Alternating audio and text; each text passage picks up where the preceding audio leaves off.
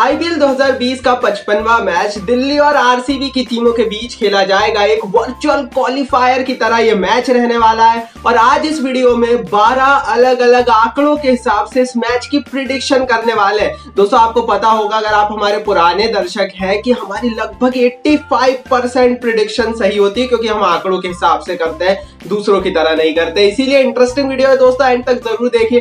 दोस्तों, हमारी टीम ने बहुत मेहनत की इस वीडियो को आप तक पहुँचाने के लिए तो आप भी हमें एक छोटी सी हेल्प कर सकते हैं। अगर आप भी आईपीएल के फ़ैन है तो यहाँ कहीं नीचे से लाइक बटन को अभी हिट कीजिए वीडियो को भी लाइक कीजिए, और चैनल को सब्सक्राइब नहीं किया है तो जल्दी जल्दी चैनल को सब्सक्राइब कीजिए। चलिए दोस्तों, शुरुआत करते हैं और सबसे पहला आंकड़ा जिसके आधार पर हम प्रिडिक्शन की कोशिश करेंगे, वो है दोस्तों पिच से जुड़ा हुआ आंकड़ा, जिसे हम पिच प्रिडिक्शन भी कहते हैं। दोस्तों, अगर हम अबू धाबी की पिच की बात करें, क्योंकि अबू धाबी में ये मैच खेला जाएगा तो यहाँ पर इस साल के आईपीएल में और पिछले पाँच मैचों में औसतन स्कोर पहली इनिंग का एक रन रहा है, दूसरी इनिंग का एक सौ चौवन रन रहा है तो वही पहली इनिंग में औसतन छह विकेट गिरे हैं। और दूसरी इनिंग्स में माफ़ कीजिए, औसतन चार विकेट गिरे हैं। तो वहीं अगर हम गेंदबाजी का ब्रेकआउट देखें दोस्तों इस पिच पर तो ये आंकड़ा बहुत इंपॉर्टेंट है। यहाँ से मैच का पता लग जाएगा कि किसकी तरफ़ जाएगा, क्योंकि पिछले पाँच मैचों में यहाँ पर तेज गेंदबाजों ने तेईस विकेट निकाले। लेग ब्रेक स्पिनर्स ने तेरह ऑफ़ स्पिनर्स ने एक और लेफ़्ट आर्म स्पिनर्स ने एक भी विकेट नहीं निकाला। तो यहाँ से एक चीज़ साफ़ कह देते हैं कि स्पिनर्स को आप एक तरफ़ रख दीजिए, तेज गेंदबाजों को एक तरफ़ रख दीजिए। ये मैच तेज गेंदबाजों की तरफ़ झुक जाएगा। तो आंकड़े पिच के तो साफ़ बोलते हैं कि वही टीम जीतेगी जिसके पास बेहतर तेज गेंदबाज है। किस टीम के पास बेहतर तेज गेंदबाज है? वीडियो को एंड तक देखिएगा। प्लेइंग इलेवन में आपको इसका अंदाज़ा लग जाएगा। चलिए दोस्तों, अब दूसरे आंकड़े की बात करते हैं। इस बार अब हम बात करेंगे ओपनिंग के आंकड़ों की ओपनिंग कंपैरिजन की। लेकिन उससे पहले दोस्तों, आज हम स्पेशल प्लानिंग कर रहे हैं सौरव गांगुली दादा को हराने की माई इलेवन सर्कल ऐप पर। दरअसल दोस्तों, दादा हर मैच में अपनी टीम बनाते हैं। और अगर आप दादा को हरा देते हैं तो आपको अपने जीते हुए अमाउंट का दुगना पैसा डबल पैसा मिलता है। प्लानिंग हम क्या कर रहे हैं वो आप वीडियो देखते जाइए, आपको पता लग जाएगी। लेकिन दोस्तों डिस्क्रिप्शन और कमेंट बॉक्स में मैंने लिंक दे दीजिए। फटाफट जाइए माई इलेवन सर्कल ऐप को अभी डाउनलोड कीजिए। जैसे ही आप इस ऐप को डाउनलोड करेंगे, यहाँ पर अपना पहला पैसा डालेंगे तो इस ऐप की तरफ़ से पंद्रह सौ रुपए फ्री में, मुफ़्त में आपको मिल जाएँगे।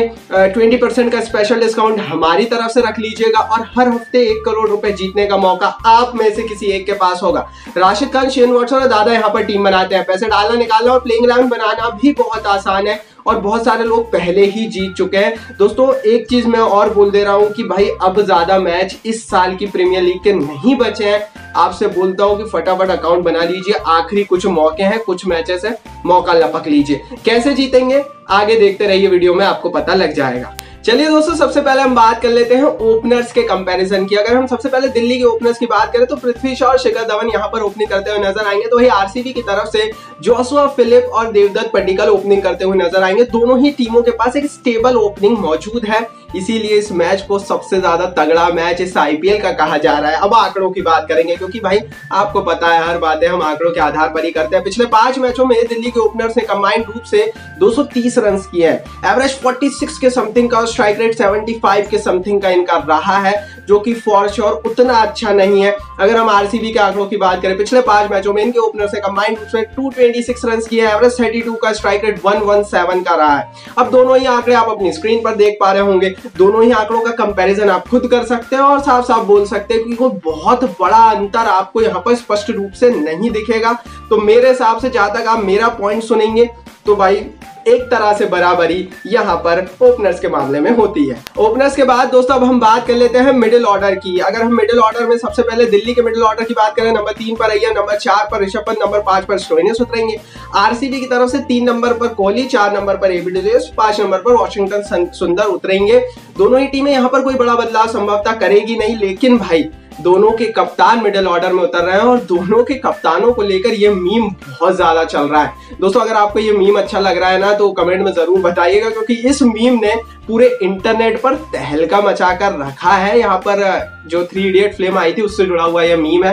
तो इसको ज़रूर देखिएगा, मुझे बहुत पसंद आया। मैंने सुना, भाई, अपनी फैमिली के साथ शेयर कर दू और आप ही हमारा परिवार है। तो इसके लिए अगर आपको अच्छा लगे तो लाइक ज़रूर कीजिएगा। अब मिडिल ऑर्डर में दोस्तों, आंकड़ों की बात कर लेते हैं। अगर हम दिल्ली के आंकड़ों की बात करें तो डेली कैपिटल्स के मिडिल ऑर्डर के खिलाड़ियों ने पिछले पाँच मैचों में कंबाइंड रूप से 260 रन किए हैं। एवरेज 19 का है और स्ट्राइक रेट 96 का है। बहुत बुरे आंकड़े हैं। एवरेज तो सचमुच बुरा है। अगर हम आरसीबी के आंकड़ों की बात करें तो इनके मिडिल ऑर्डर खिलाड़ियों ने कंबाइंड रूप से पिछले पाँच मैचों में 296 रन 300 के समथिंग रन कर दिए। एवरेज 42 का है। स्ट्राइक रेट 137 का है। भाई कंपैरिजन ही नहीं है। साफ़ साफ़ आरसीबी का पडला भारी यहाँ पर है। मिडिल ऑर्डर आरसीबी का सशक्त रहा है। और पिछले मैचों में दिल्ली की हार का कारण दिल्ली के मिडिल ऑर्डर का नहीं चलना है। और पिछले पाँच मैचों के आंकड़े इस बात को बता रहे हैं तो ट्रेंड यहाँ पर आरसीबी की तरफ़ जा रहा है। अब बात कर लेते हैं भाई लोअर ऑर्डर के आंकड़ों की। लोअर ऑर्डर की अगर हम बात करें, खिलाड़ियों की बात करें तो दिल्ली की तरफ़ से शिमरॉन, हेटमायर और अक्षर पटेल या प्रवीण दुबे उतर सकते हैं। तो भाई आरसीबी की तरफ़ से भाई नंबर छह पर क्रिस मॉरिस नंबर सात पर गुरकीरत सिंह उतरते हुए हमें नज़र आएँगे। अब आंकड़ों की बात, क्योंकि यही तो कहानी है। तो दिल्ली के बल्लेबाजों ने लोअर ऑर्डर में बल्लेबाजी करते हुए पिछले पाँच मैचों में 78 रन किए एवरेज 13 का स्ट्राइक रेट 164 का। आरसीबी के लोअर ऑर्डर में बल्लेबाजी करते हुए मॉरिस गुरकीरत सिंह ने पिछले पाँच मैचों में 80 रन किए हैं एवरेज 27 का स्ट्राइक रेट 100 का है।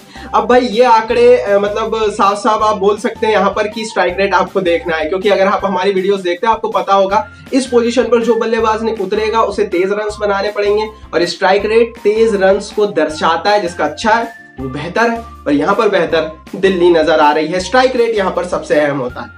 चलिए दोस्तों, आगे बढ़ते हैं। अब बात कर लेते हैं लोअर ऑर्डर की गेंदबाजी के आंकड़ों में, क्योंकि लोअर ऑर्डर में जो प्लेयर्स खेलते हैं, वो गेंदबाजी भी करते हैं ऑलराउंडर्स होते हैं। और सबसे पहले दोस्तों, अगर हम दिल्ली के लोअर ऑर्डर के गेंदबाजों की बात करें तो स्टोइनस और अक्षर पटेल यहाँ पर गेंदबाजी करते हैं। आरसीबी की तरफ़ से मॉरिस और वॉशिंगटन सुंदर यहाँ पर गेंदबाजी करते हुए नज़र आते हैं।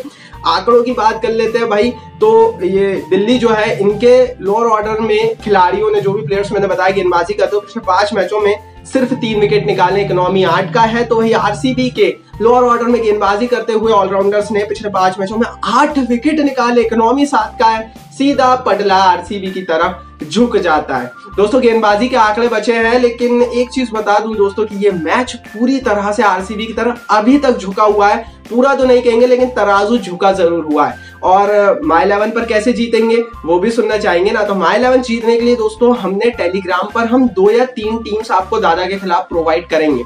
और दोनों ही टीमें तीनों ही टीमें जो हम प्रोवाइड करेंगे तीनों ही तगड़ी टीम होगी।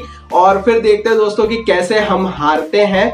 यहाँ पर दोस्तों आप एक चीज़ और कर सकते हैं कि अगर आपके पास दो तीन अकाउंट है तो वहाँ से भी आप कर सकते हैं। मॉम डैड के अकाउंट से भी आप कर सकते हैं। क्योंकि समय कम है, इसलिए बता रहा हूँ माई इलेवन सर्कल की लिंक डिस्क्रिप्शन बॉक्स में डाल दिए मतलब अकाउंट ज़रूर बना लीजिए। आगे भी फिर ऑस्ट्रेलिया सीरीज़ भी आ रही है, वहाँ पर भी दवाई मचाएँगे, पैसा कमाएँगे। चलिए दोस्तों गेंदबाजी कंपेरिजन की बात करते हैं। सबसे पहले दोस्तों, अगर हम दिल्ली के गेंदबाजों की बात करें तो यहाँ पर आठवें स्थान पर अश्विन, नौवे स्थान पर रबाडा दसवें स्थान पर नौची और ग्यारहवें स्थान पर हर्षल पटेल उतरेंगे। आरसीबी की तरफ़ से आठवें स्थान पर सैनी, नौवे स्थान पर मोहम्मद शराज, दसवें स्थान पर यजुवेंद्र चहल और ग्यारहवें स्थान पर ईश्वर उड़ाना उतरने वाले देर इज़ नो डाउट कोई बहुत बड़ा बदलाव संभवतः लग नहीं रहा। दोनों ही टीमें नहीं करेंगी। बहुत ज़्यादा विकल्प दोनों के पास है भी नहीं, लेकिन आंकड़े सबके पास है ना। आंकड़े तो हमारे पास है। भाई, दिल्ली के गेंदबाजों ने पिछले पाँच मैचों में बारह विकेट लिए, नौ का इकोनॉमी रहा है। आरसीबी के गेंदबाजों ने पिछले पाँच मैचों में सत्रह विकेट लिए, आठ का इकोनॉमी रहा है। गणित साफ़ हो जाता है कि यहाँ भी आरसीबी आ गया दोस्तों अलग अलग आंकड़े हमने आपको बताया कुल हमने यहाँ पर आपको 12 अलग अलग आंकड़े बताए हैं, दोनों ही टीमों के मिला के। और आरसीबी की तरफ़ तराजू झुक रहा है।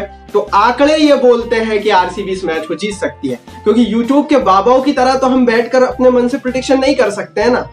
हम तो आंकड़े बताएँगे और आंकड़े भाई जा रहे हैं इनकी तरफ़। अब आप बताइए कमेंट बॉक्स में आपके हिसाब से कौन जीत सकता है? यूट्यूब ने कमेंट बॉक्स आपके लिए दिया है। कमेंट ज़रूर कीजिए टेलीग्राम पर जाइए माई प्रोडक्शन को सर्च कीजिए। वहाँ पर हम आपको टीम प्रोवाइड करने वाले हैं माई इलेवन सर्कल पर खेलने के लिए। और पोल भी चल रहा है वहाँ पर न्यूज़ भी आती रहती है। तो वहाँ पर ज़रूर ज्वाइन हो जाइए। इस वीडियो को लाइक और शेयर ज़रूर कीजिए अपने दोस्तों के साथ और चैनल को सब्सक्राइब करके बेल आइकन को ज़रूर दबाइए।